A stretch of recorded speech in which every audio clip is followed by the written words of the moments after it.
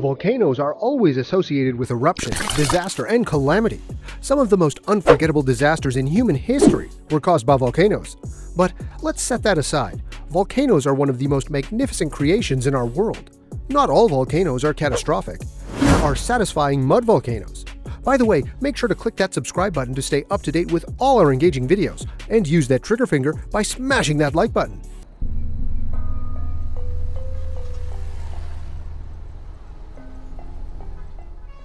Now, let's get into it.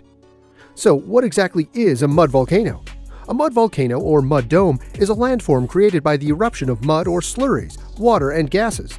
Several geological processes may cause the formation of mud volcanoes.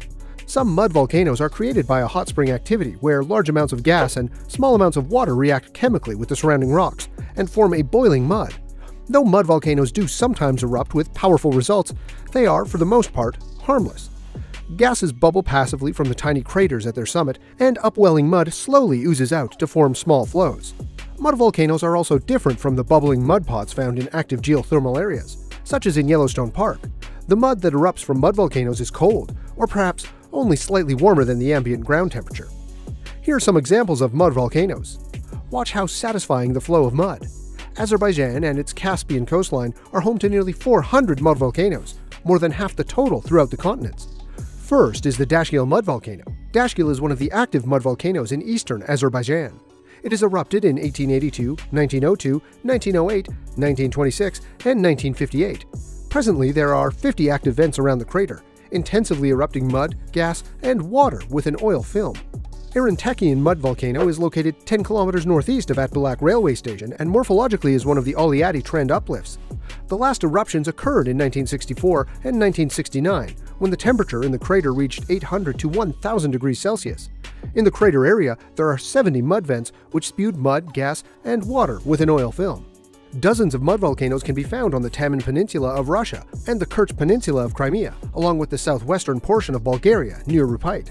In Italy, they are common in the northern front of the Apennines and Sicily. On August 24, 2013, a mud volcano appeared in the center of the Via Coccia di Morto roundabout in Fiumicino near Rome. Mud volcanoes are quite usual in Indonesia. The Indonesian Lusi mud eruption is a hybrid mud volcano driven by pressure from steam and gas from a nearby volcanic system and from natural gas. At its peak, Lusi spewed up to 180,000 cubic meters of mud per day. Imagine that fountain of mud. It is the biggest mud volcano in the world. The birth of Lusi was a major disaster for the population living nearby, with the loss of their houses, properties, and their livelihood. For the scientific community, however, it was a chance to study the evolving geological process of a mud volcano. In the Turtle Islands in the province of Tawi-Tawi, the southwestern edge of the Philippines bordering Malaysia, the presence of mud volcanoes are evident on three of the islands. Lihiman, Great Bakungan, and Boaan Islands. The northeastern part of Lihiman Island is distinguished for having a more violent kind of mud extrusions mixed with large pieces of rocks, creating a 20 meter wide crater on that hilly part of the island. Such extrusions are reported to be accompanied by mild earthquakes, and evidence of extruded materials can be found high in the surrounding trees. There are 10 active mud volcanoes in the Izu Bonin Mariana Arc, which can be found along a north to south trend, parallel to the Mariana Trench. The material erupted at these mud volcanoes consists primarily of blue and green serpentinite mud, which contains fresh and serpentinized peridotite material from the subduction channel. Serpentinite mud is formed as fluid from the downgoing Pacific plate is released via prehnite pumpellyite dehydration, green schist alteration, and blue schist dehydration. This fluid interacts with mafic and ultramafic rocks in the downgoing Pacific plate and overriding Philippine plate, resulting in the formation of serpentinite mud.